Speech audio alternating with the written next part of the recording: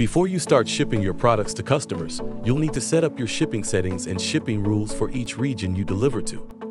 In this video, we'll break down how to do this using shipping templates in Seller Center. Shipping templates allow you to customize your shipping settings so that you can readily ship and deliver your products to Walmart.com customers quickly.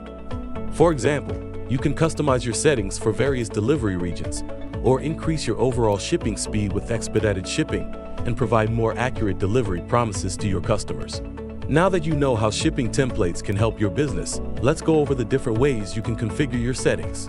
If you use USPS, UPS, or FedEx, you can automate your shipping settings.